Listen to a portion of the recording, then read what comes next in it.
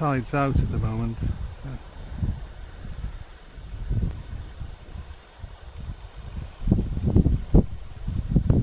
Some great walks here along the Anglesey coastal path. Lovely sea views.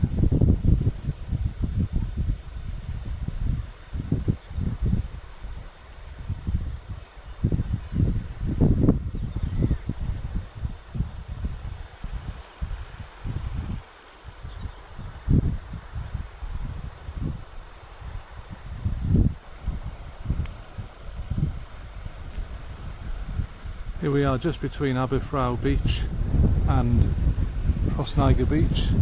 And just in the distance there you can see Bardsey Island.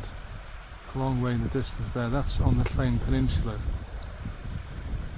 Across on the mainland